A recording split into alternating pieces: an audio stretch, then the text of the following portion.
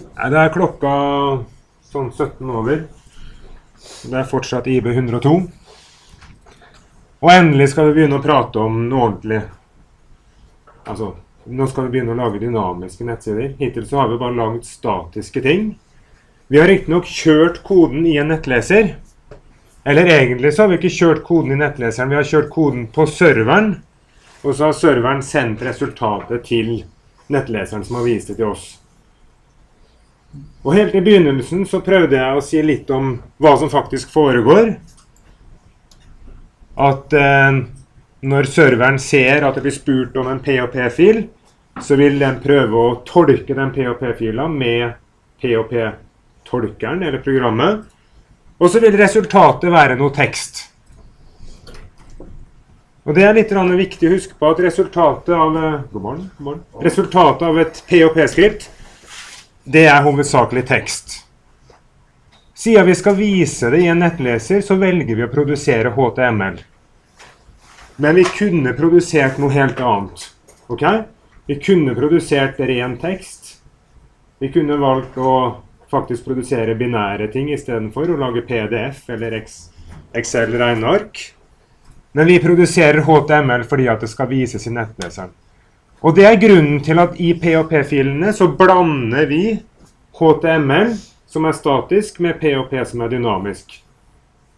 Men det kunne altså vært noe annet. Men siden vi har tenkt å lage nettsider her, så er det innmari fornuftig å lage noe som faktisk blir vist i nettleseren. Det vi skal gjøre i dag, det er to ting. Vi skal se på ordentlige arrays. Jeg vet ikke hva, hva sier man i uh, Visual Basic? Hva sier man der for en vektor? Sier dere array? Ja, flott. Det sier vi i P òg.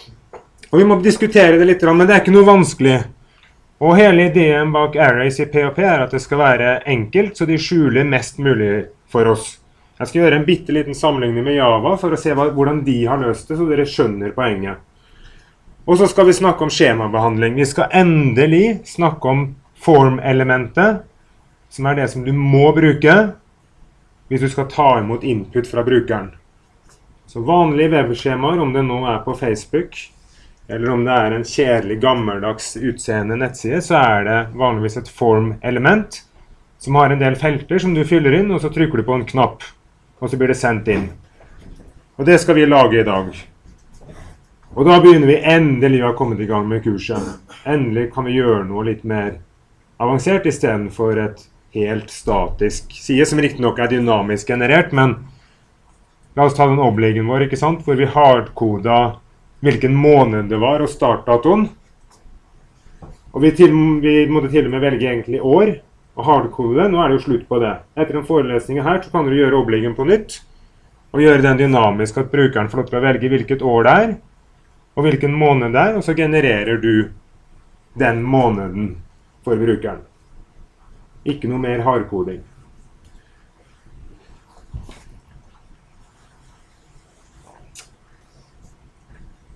Um, ja Vi snakker Altså, i PHP så, så, er det et array.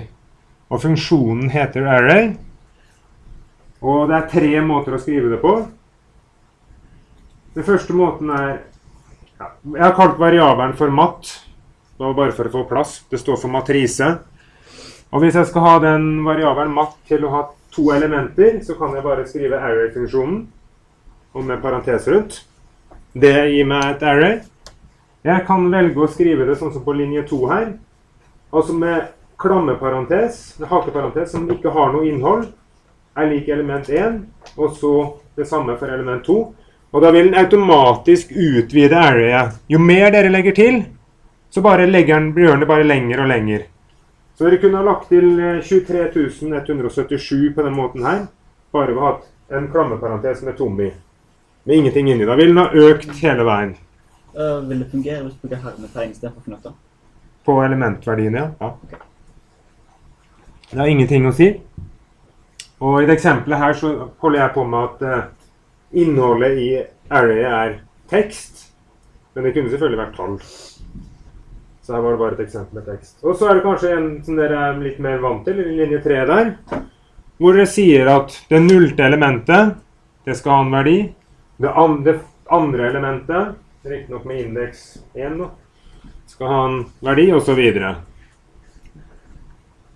Og de her er de vanlige måtene å gjøre det på. Og dere ser at det er knytta POP internt kaller det her for et array. Vi vil gjerne si at, eller Boka sier at det er en matrise fordi at du kan ha det her i flere dimensjoner.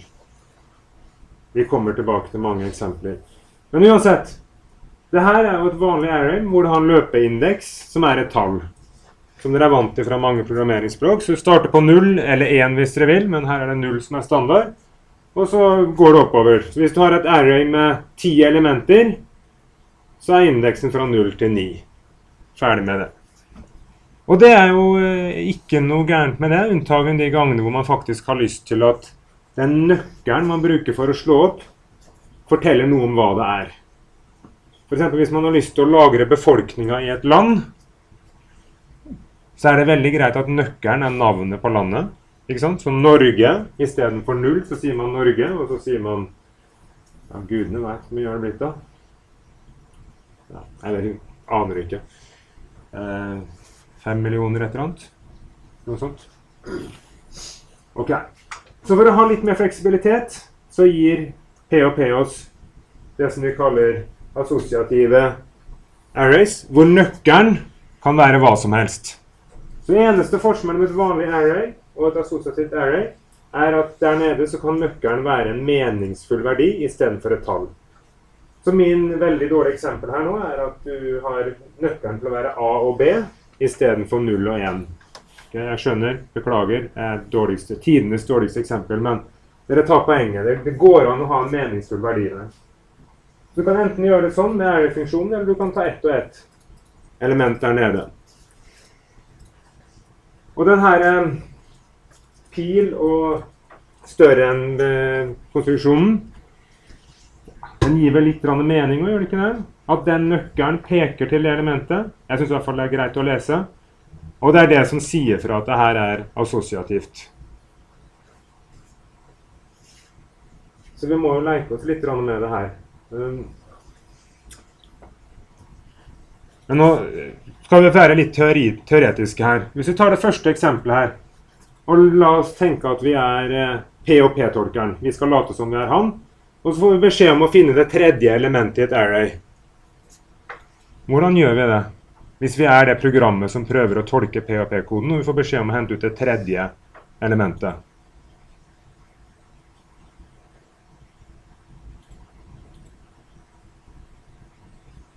Hva tror dere den gjør?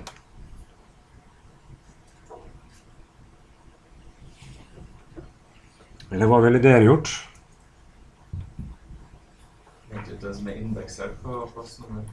Ikke sant? Ja, ja ok. Veldig, men hvordan, hvordan, kommer du dit? Ikke sant? Du, det er rett frem. Det, er ikke, det var et veldig lett spørsmål. Du starter på det første elementet, og så går du tre steg. Ikke sant? RA-et ditt er tross alt nummerert sammenhengende, og det er, det er bare å gå tre steg. Hva hvis du har et assosiativt area, da, hvor nøklene dine er landa i verden, og du skal finne Norge?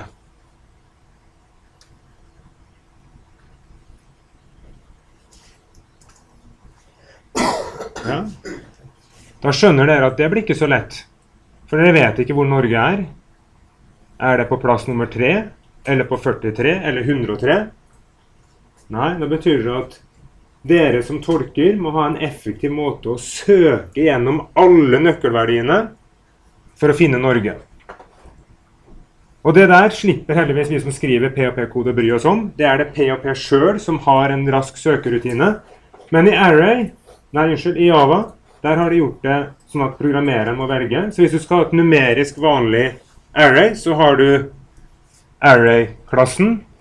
Er det noen som husker Det er ikke så mange av dere som har tatt Java. Hvis du skal ha en som er en assosiativ array, så må du bruke annet, en annen klasse som heter hashmap.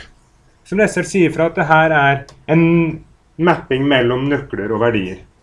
Så andre programmeringsspråk de skiller mellom det her. PHP sier at ok, slapp av, programmerere, det her fikser vi for dere. Dere står fritt. Dere bruker den samme konstruksjonen. Dere bruker array overalt og bestemmer sjøl. Og For å gjøre det totalt enkelt og muligens forvirrende, så kan du også bytte på og ha litt grann eh, vanlig array med løpende tallindeks. Og så plutselig ha litt assosiativt, og så kan du gå tilbake igjen til å ha løpende. Jeg vil ikke anbefale å holde på sånn, men PHP takler det. Men det blir bare forvirrende. Så jeg mener at hvis dere velger enten så har dere assosiative, meningsfulle nøkler fordi at dere trenger det, eller så har dere løpende. Men ikke bytt på i et array. Det blir styr. For, ja, Hva anbefaler du å bruke av det? Nei, det spørs hva du skal med. Hvis, du ikke trenger, hvis ikke nøklene har noen verdi La oss tenke deg at du har et array med masse tall inni som du skal summere opp og finne gjennomsnittet av. Da har nøkkelen ingen verdi. Da er det bare verdien, bare selve verdien du er ute etter. Men hvis det er sånn at nøkkelen faktisk forteller deg noe, ta det her eksempelet med hvor mange folk det er i hvert land, så er det faktisk interessant å vite at det tallet her, det hører til Norge. Så da har du Norge som nøkkel, og så kommer verdien. Så er, der bruker du det som er mest naturlig. Men som sagt, hvis du ikke trenger å bruke assosiativt, så gjør du det helt, helt vanlig. Det går litt kjappere, men i vanlige program hvor dere ikke har en million tall å legge sammen, så vil du ikke merke det. Sist så kjørte jeg en hel sammenhengende førstetime uten noen eksempler. Nå tror jeg jeg tar noen eksempler allerede med en gang.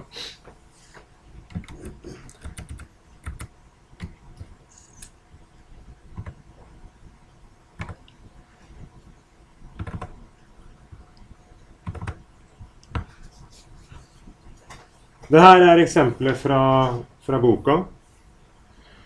Eh, Jeg skal plukke det litt i stykker, så derfor så blir det litt eh, Derfor så er det verdt å se på det. Det her gjør et eh, triks som er verdt å vite. Altså, man kunne gjort sånn som det der. Da ville du fått et eh, array som heter MND, som starter med null. Og null vil lite januar, og én vil lite februar, osv. Og det er litt sånn slitsomt fordi at eh, vi vanligvis liker å telle månedene fra én. Så da går det an å gjøre det trikset der og bare si fra til PHP at vi skal begynne på én istedenfor null. Og da vil den etter det så vil den fortsette å øke med én hele tida. Og det her går det an å gjøre på andre måter også.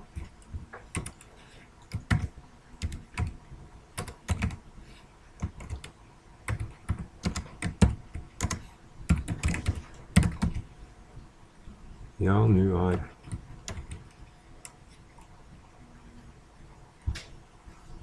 Du kunne markert det på den måten, og så kunne du ha brukt den åpne der på resten. Prikk, prikk, prikk. Skjønner dere poenget? At første gangen dere angir et, et array, så kan du fortelle den at du skal begynne på noe annet enn null, men så vil den øke med én hele veien. Um. Jeg skal hoppe tilbake til den koden som boka har. Det er ikke viktig akkurat nå. Ja, bare én siste ting, da.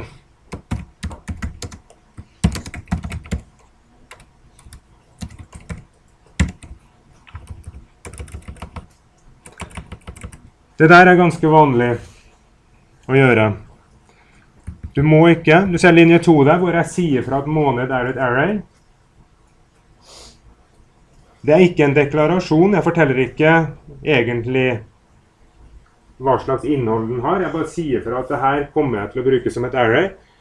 Og grunnen til at jeg gjør det, er for å unngå feilmeldinger i koden seinere, eller advarsler om at du har ikke initialisert det her arrayet. Så jeg lager et tomtet, og så begynner jeg å tilordne verdier. Men POP er selvfølgelig så fleksibel at, at det der er like, like godkjent, det, altså. Å la være å ta det med. Men det er faktisk eh, Man slipper en god del feil ved å bare venne seg til å skrive den første linja der på linje to. Hvis man, hvis man vil bruke den der måten å tilordne. Jeg lurer på Jeg ser at du setter den til 1, men jeg ser ikke noe sted at du øker den med 1. Nei, og det er det PHP som gjør. Det er en egenskap ved PHP at eh, den tar den neste ledige. Det er bare sånn det er. Men hvis jeg bruker én nå, så tar den neste ledige, som er to. Og hvis jeg har brukt to, så tar den tre. Så hvis jeg hadde skrevet 123 der, så hadde februar fått 124. Altså den tar bare den neste som er ledig. Kjempebra spørsmål. Hvis, du da den hadde prøvd å skrive skrevet måned 1 og begynte måned 123, Mhm. da hadde du fått feilmelding. da hadde du. Ja, nå datt jeg av. Ja, hvis, nå hvis skrevet måned 123 eller hva Ja. Hvis du da på en sånn lengre nede hadde prøvd å skrive ekko måned 100 ja, nei, den finnes jo ikke. Nei, Nei. du. Får ikke feilmelding. Du får en advarsel om at den ikke er satt. Så det kan vi faktisk gjøre. Hvis dere har lyst til å bare avbryte koden deres bare for at dere har lyst til å teste noe øverst, så kan dere allerede nå vite at det er noe som heter exit eller die, som gjør at resten av koden ikke blir kjørt. Så akkurat nå skal jeg leke meg med det her for å teste det du sa, uten at jeg kjører den forløka nede. Så nå sier jeg exit.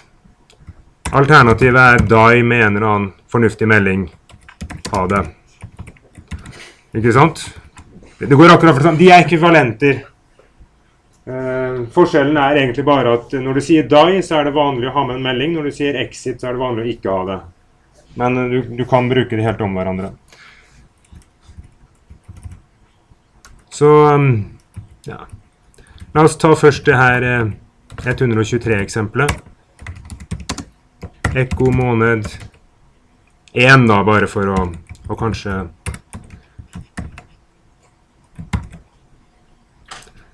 Da får du den der, en klassisk feilmelding. Du må bare vende dere til med en gang. Det står 'Notice undefined offset'. Og offset er det samme som nøkkel. Bare lær dere det. Så når det står 'undefined offset', så betyr det at dere prøver å hente ut en verdi fra et array med den nøkkelen der som ikke er satt. Fordi at vi begynte på 123. Hvis jeg tar 124, hva får jeg da? Bare for å sjekke at dere følger med. Jeg, får, jeg håper for guds skyld at jeg får februar. Veldig bra. Dere har skjønt poenget da? Og hvis du gjør sånn, hvor du ikke sier fra noe som helst, så begynner den altså på null. Bare for å verifisere det, så kan vi si sjekke måned null og se at det blir januar. Ja? Uh, litt spørsmål, men uh, er ikke det mulig å sette at han skal begynne på én i nederste delen av koden? Sånn så Altså Istedenfor at han liksom begynner på null, så kan du få han til å starte mellom én til tolv? Nei, altså du her, her deklarerer vi jo hvordan det arrayet skal se ut. Og da må du si fra det når du okay. lager det. Det du kan gjøre i forløka, er selvfølgelig å løpe over det, og så kan du legge til én i forløka for å korrigere for at du vet at månedene begynner på én osv. Men da Da er det egentlig ikke så dumt å bare gjøre sånn og si fra at den her skal løpe fra én. Og siden den hele tida legger til én hele veien, tar den neste ledig, så trenger jeg ikke skrive to der. Ikke sant? Ja, det var mye om det der. Så nå går vi ned til den ordentlige koden. Dette er ikke en type konstruksjon som jeg pleier å bruke, men jeg er enig i at den er snerten. Den sier fra kjapt og greit at du skal begynne på 1. Og så har jeg forløket nede her, som løper over. Skal vi ta noen linjeskift, så dere ser godt. Og for hver så skriver den ut eh, Dere klarer å lese den syntaksen der. At den skriver ut måned med indeks 12 da først. Da får du desember. Og så etterpå så skriver du Så henger det sammen med er måned nummer 12. Så går du en gang til hvor det hele tida minker, da, for den begynte på 12, den der, da.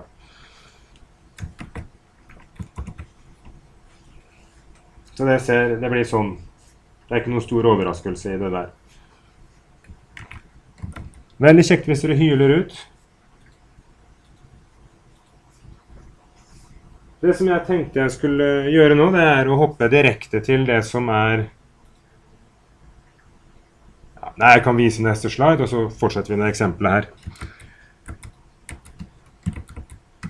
Det var der, kanskje. For each, det er det du bruker til å loope over eh, arrays. Du bruker ikke ei for-løkke, du bruker for each. Um, og den er eh, genial fordi at den sikrer at du går innom alle elementene.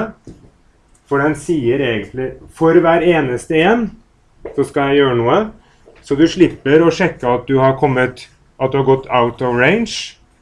Og du slipper å hoppe over ting fordi at det mangler noe. Den vil løpe gjennom alle element uansett. Og det, det betyr at du kan bare kule den helt og bruke den konstruksjonen her. Det er to varianter. Det er den enkle varianten hvor du sier at du skal bare løpe over verdiene. Ikke sant? For en matrise som et element, og så løper du over hvert enkelt element. Vi skal vise det med et eksempel om et øyeblikk. Og den andre varianten er hvor du tar vare på nøkkelen for at du har lyst til å vite hva nøkkelen er, og så henter du ut verdien i tillegg. Hvis du sammenligner de her to brukene her, så vil Val og Elm her, de to vil ha samme verdi hvis du løper gjennom det her. Så vi skal kose oss med det her. Så jeg har lyst til å bruke litt tid på det. For each er eh, knallnyttig. Dere kommer til å bruke det masse. Og stort sett så gjør den sånn som du vil. Jeg skal vise at den av og til gjør noe annet enn du vil, men stort sett. Eh, Så skal vi til slutt ha noen eksempler som viser at eh, de her matrisene er veldig generelle. Eh, Så du kan ha matriser inni matriser, eller det som jeg ville sagt arrays inni et array. Og på en måte bygge opp en enkel datastruktur uten å skrive objektorientert kode.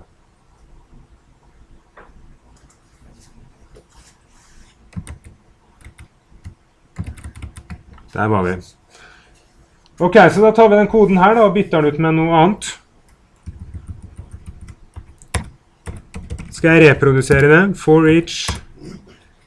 Det vi skal løpe over er md. Og jeg skal hente ut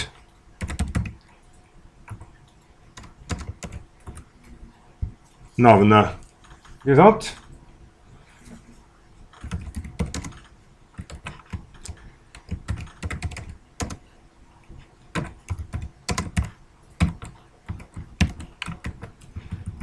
tror vi kommenterer ut den koden der oppe, så blir det ikke så mye på skjermen.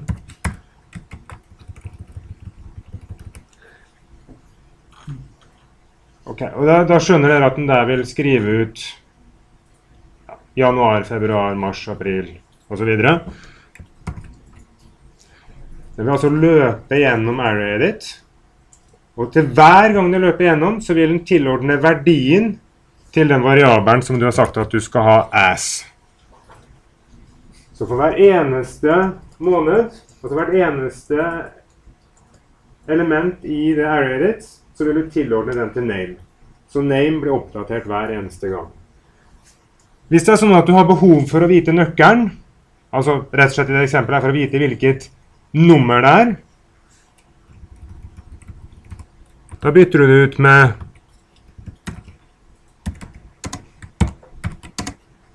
den der. Så for hver gang du løper, så henter du ut nøkkelen og verdien.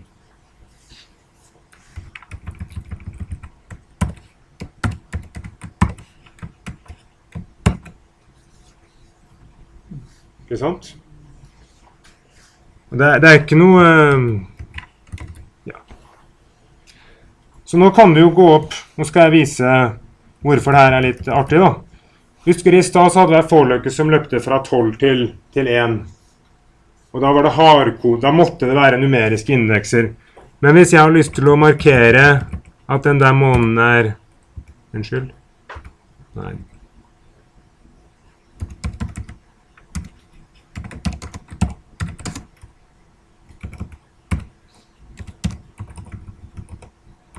Birth month, da. Bare for å ta et eksempel. Så vil den for each takle det helt fint. Ser dere det? Plutselig der, midt inni den rekka med tall, så kommer indeksen my birth month. Og så fortsetter den å løpe videre. Ja. Men uh, nå hopper jo den over tallet. Sånn, Ikke sant? Nummer Ja, ja, ja. For det gjør den. For som jeg sa her i statusveien, at den tar den første ledige. Så når jeg hadde kommet til juni, så brukte jeg sekseren. I juli så brukte jeg ikke noe tall. Så da var sjueren fortsatt ledig. Så det er klart, hvis jeg gjør det trikset her nå, og du har lyst til at det skal være riktig nummer, kanskje du har lyst til det, så må du jo gå tilbake opp her og passe på at neste fortsetter i 8 med 8.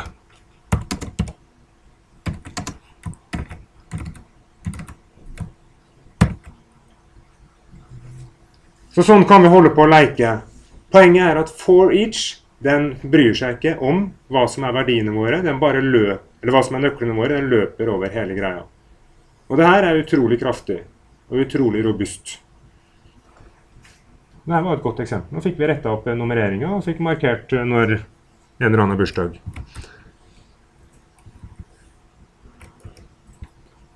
Ja. Litt spørsmål. Eh, Du måtte vel skrive 8 på august nå. Ja. Eh, Er det mulig å liksom få han til å fortsette uten å måtte fikse på hver enkelt en hvis det skulle være en veldig lang tabell f.eks. med 1000 ord? for Nei, den tar alltid den første ledige. Ja. Så hvis du skal gjøre noe sånne ting, så må du. Du må rette på hver enkelt, eller rett og slett lage f.eks. ei forløkke som gjør det for deg, hvis du skulle generert det her og gjort mye rart, ikke sant. Um, så det kan vi jo gjøre, holde på litt med. Um, ja. Og hvis du vil ha sju, da, hvis du vil ha sju etter birthday Hvis du vil ha det skrevet ut Du kan ikke ha begge deler, vet du. En, den nøkkelen er Et element i et array har bare én nøkkel. Den er på en gitt plass. Enten så får du sju, eller så får du my birthday. Okay. Eller så kan du jo selvfølgelig Hvis du aksepterer at det er eh, doble måneder, så kan du gjøre sånn, da. Men da kommer jo juli to ganger. Og det er kanskje heller ikke det du har lyst til. Men poenget er bare at du kan bare tilordne Det er bare én nøkkel som gir deg én verdi. Du kan ikke ha en verdi som har to nøkler og får begge to osv. Da. da får du det duplisert sånn som her, og det vil du vel kanskje ikke. Selv om juli er en flott måned.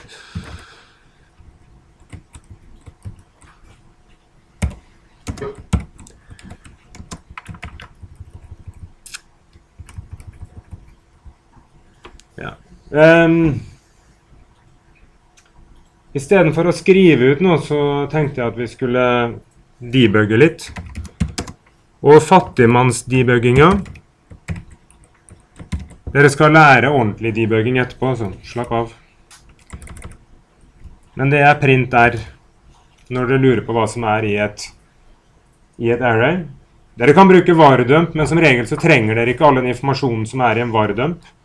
Forskjellen mellom print R og varedump er at print R bare printer ut arrayet, og ikke forteller deg hva slags type verdi som er på de forskjellige, mens varedump det forteller deg at her har du et heltall, her har du en tekststreng, her har du et objekt osv. Så, videre. så hvis jeg har lyst til å vite noe om den der eh, månedarrayet, så kan jeg gjøre sånn.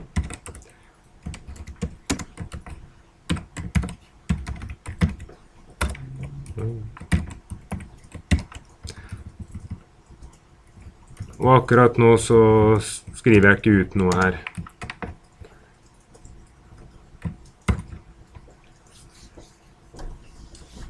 Da får du beskjed om at det er månedvariabelen. Det er et array. Yay, for det var jo det vi prøvde å lage. Og du ser alle nøklene, og du ser alle verdiene. Enkelt og greit. Men det var jo ikke så veldig spennende, for det var jo det vi nettopp skrev ut på skjerm. Så nå tenkte jeg at jeg skal vise dere en par av de tingene som er viktige å vite om 4H. Kanskje boka kommer til det seinere, men jeg, jeg har lyst til å ta det nå med en gang. Hva hvis jeg har lyst til å endre navn på juli måned?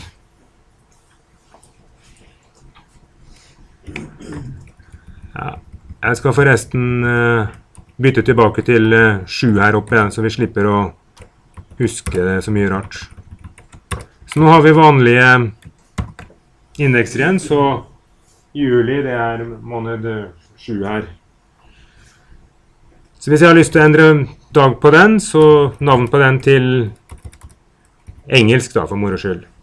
Ja. Jeg sier spørsmål, eh, du sier at den teller 1 til 12 sånn. Kan du sette 1 igjen lenger ned i tabellene? Hvem begynner begynne på 1 igjen og telle nedover? Eller Nei, det er et godt eksempel. Skal vi prøve det? Jeg vet hva som skjer. Det som skjer er at den overskriver den forrige verdien du hadde, og så begynner den å telle på den første ledige. Så det der er et kjempeeksempel. Skal vi se om vi får lov til å sette 1 i august.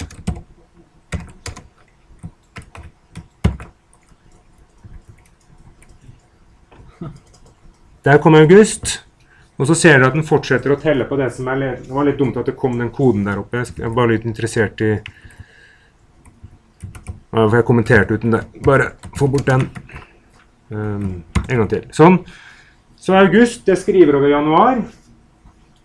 Eh, og så ser dere at september ble plutselig 8. For den fortsetter der hvor det er ledig. Så det er ikke lurt å gjøre sånne triks. Men den gjør alltid det. Den tar, tar det første ledige tallet. Så når du da sier at august skal være 1, så er fortsatt 8 ledig. ikke sant? Så da havner plutselig september på 8. Og så fullfører den med resten. Men siden du skrev over januar, så er januar borte. Så du kan virkelig ødelegge ting her hvis du vil. Så når du skal gjøre sånne triks, bare gjør det helt på det første elementet, og så lar du P og P gjøre resten sjøl. Hvis ikke så ender du plutselig opp med noe rart. Og legg også merke til at det var ingen feilmelding. Den sa ikke fra at du skrev noe over noe som du hadde satt før. Nei, P og P syns det her er helt supert. Det er for at det skal være enkelt for oss, men ja. Kjempebra spørsmål. Artig, artig. Men vi skulle endre juli til noe annet.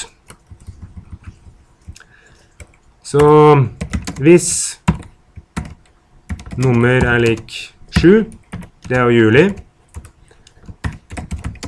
Name er lik July.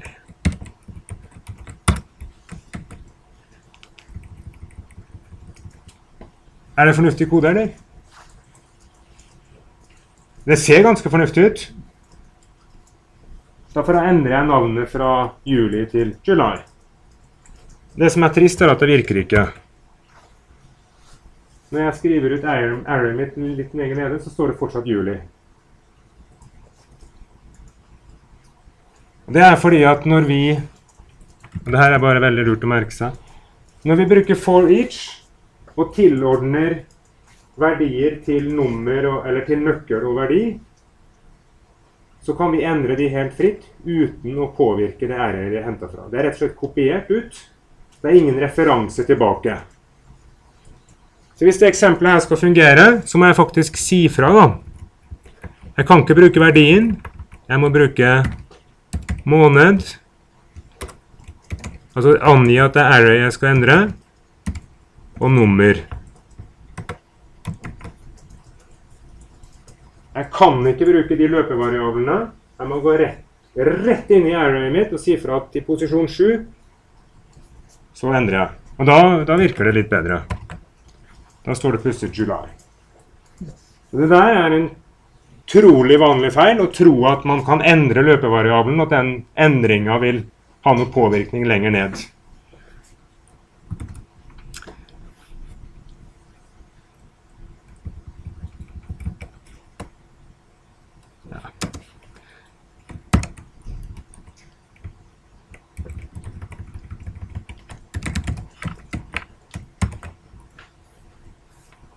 Hmm. Kjenner du det lille trikset? En liten åg gjør stor forskjell. Jeg vil ta og vise Skal bare lukke noen vinduer her. Nå har jeg hoppa tilbake på linje 26 her, at jeg faktisk refererer bare til name. Og det funka. La oss bare se igjen at på juli der nå så står det July. Og det her kommer vi til seinere i boka. Men det der og-tegnet som du ser foran variabelnavnet, det betyr at det er en referanse. Det er ikke lenger en Den er ikke kopiert, copied by value. Den er copied as reference. Så det betyr at nå er det faktisk ikke verdien jeg har der, men den der name, den peker til posisjonen i arrayet mitt, sånn at jeg kan lese og endre den. Og det der vil dere bruke av og til. Fordi at det er litt kjappere å skrive bare name der, istedenfor å skrive måned, nummer. Så, så vær obs på det.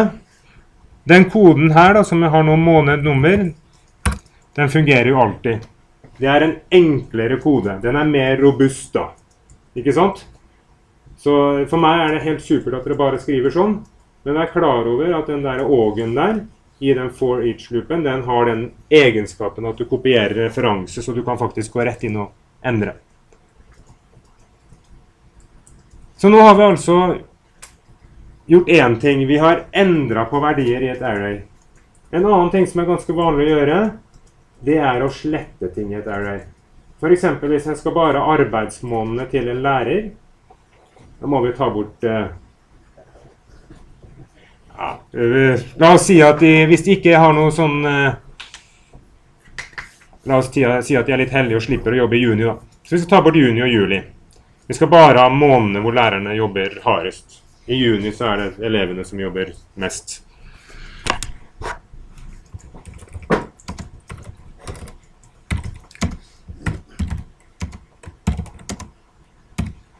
Og så vet dere at jeg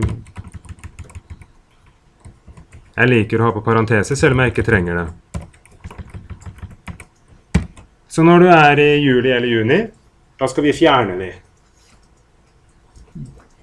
Og den måten å gjøre det på, det er med kommandoen unset. Så det er bare å notere seg. Den sletter det elementet i den posisjonen fra arrayet. Rett og slett. Så hvis jeg kjører den koden her, så håper jeg at juni og juli er borte. Og det er de. Og dere ser at nummereringen er beholdt. Ikke sant? For du har bare sletta de som var der. Det er ikke sånn at RE er bygd opp på nytt. Du har bare tatt de vekk. Så da beholder du de. Og det her er en veldig vanlig måte å ha. Du har et, et RE som du har inneholder alle de dataene du skal ha, bortsett fra et par unntak. Og så fjerner du de.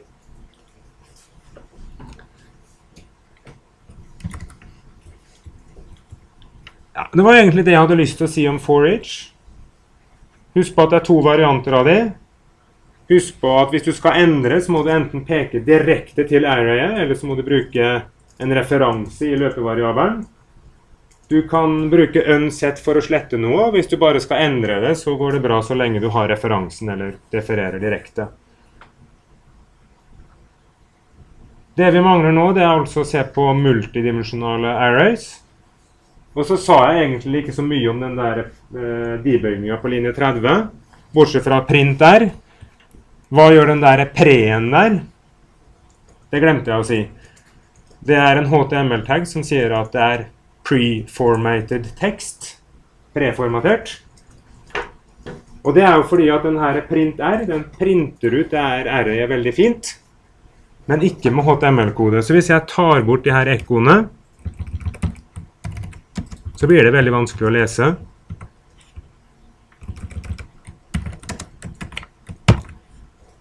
Ser du det med en gang?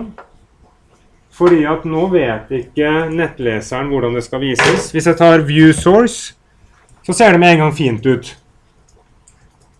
Men eh, det er ikke noe linjeskift. Altså, det her er ikke HTML-kode, det her er ren tekst. Så hvis nettleseren viser det her uten å ha de her pre-taggene, så blir det altså på ei linje.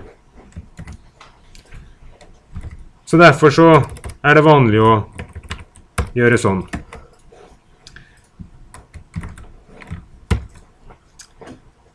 Eh, vi skal etter hvert, litt senere i kurset, ikke denne uka her, kanskje neste uke, vise det verktøyet som heter XDebug, som gjør at dere kan sette breakpoints og alt mulig sånn, og gå gjennom koden som dere er vant til i andre språk. Og det kan du selv om det også er en nettløsning.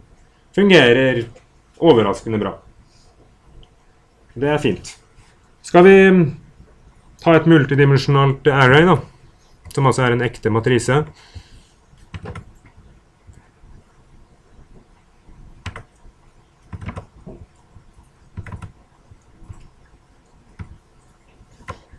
Jeg hadde egentlig tenkt å lage et eksempel sjøl. Og så så jeg at læreboka hadde kommet på det samme eksempelet, så da var det jo veldig greit. Det som er viktig her, det er eh, egentlig ikke så mye om Ola Nordmann og minimumstemperatur. Men det er på linje 5, der hvor du har Norge, og linje 10 hvor du har Irland. Og for så vidt linje 14 hvor det ikke står hva du har. Så du ser på linje 2, der begynner et array. Og helt til du kommer til linje 5, så er det ikke noe spesielt. Men på linje 5 så ser du at verdien er et nytt array. Og den, eh, det arrayet det beskriver byer i, i Norge. Og på linje 10 så har du et nytt array som er på Irland, som beskriver et eller annet om Irland. Og så har du på linje 14 et array som ikke er knytta til noe som helst sted. Men vi kan jo se at det er Spania. Poenget her er at det her rett og slett da lar oss bygge opp objekter da, på, rett, på sett og vis, syns jeg. De, det som var dumt med det eksempelet her, er at de er jo ikke like. da. Ikke sant? Norge inneholder byer. Irland er en by og en verdi. Og linje 14 der inneholder et array som bare har litt informasjon om Spania. Hvis man lager det litt strukturert, så kunne man laget et sånt array at Norge der, det var inneholdt hovedstaden Oslo, antall innbyggere og litt andre ting. Så vi kan jo kanskje lage en kopi av den der og gjøre det. Litt. Rann.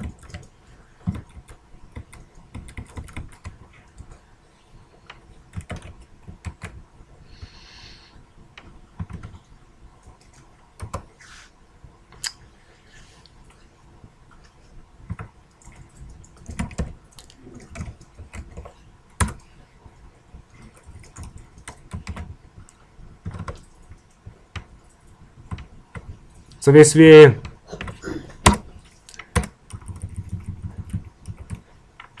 gjør litt sånn, for å klippe i stykker det eksempelet fra læreboka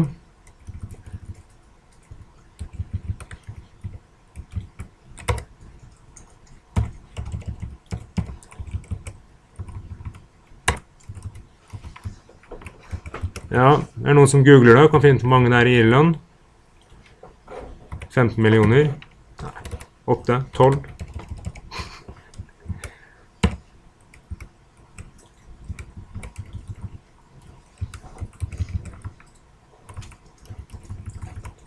Spania, da? 50 millioner? Har dere enda ikke funnet ut?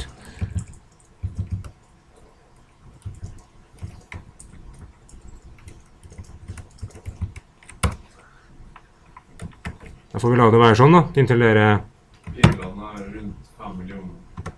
Åh, for en tabbe. Spania, da?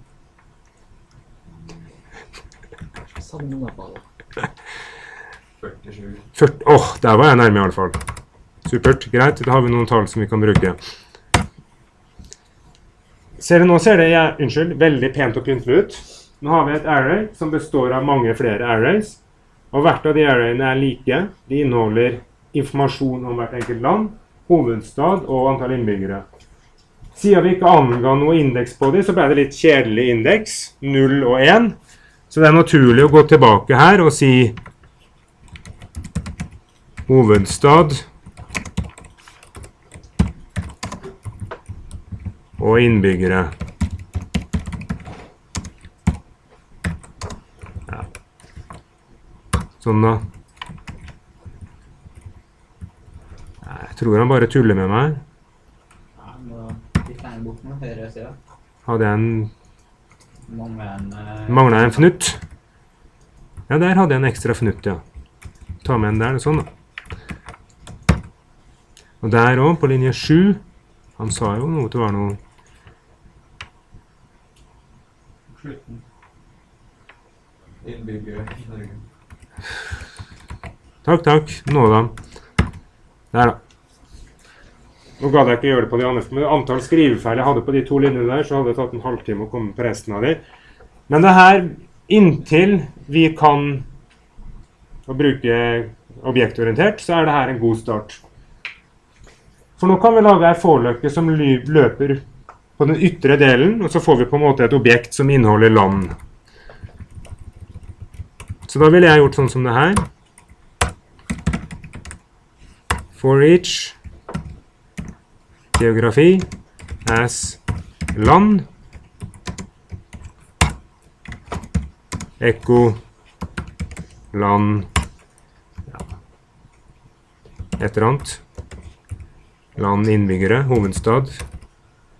Så skal dere se noe artig her, forresten. Er det noen som har lest boka og ser at det her ikke går bra? Vi kan jo bare kjøre da og se hva som eh, Nei, skal vi gjøre sånn istedenfor? Uh, nei da, vi kan godt gjøre det. Vi kan godt vise feilen først. Det her er også en klassisk feil om at du får eh, ja, et eller annet som ikke matcher når det gjelder eh, teksten, og det er en veldig kryptisk melding. Og det er rett og slett fordi at du har eh, brukt array-indeks inni eh, hermetegn, helt nederst her. Så det enkleste da er å la være å gjøre det, og bare ta de vekk. Så. Det, vi fikk to feilmeldinger for at jeg ikke orka å legge inn hovedstad på de andre to. ikke sant? Men eh, dere skjønner poenget at vi kan hente ut eh, hvert enkelt under-array. henter jeg ut i koden her nede som land, og så kan jeg bruke det. Og det er ja, fattigmanns-objektorientering, da. Som gjør at du på en måte kan skjule en del av det. Du kan jobbe med de der og sende de litt rundt omkring og ha det fint og, og greit. Ja. Vi tar en pause, vi nå, så får vi noe antall skrivefeil etter pausen.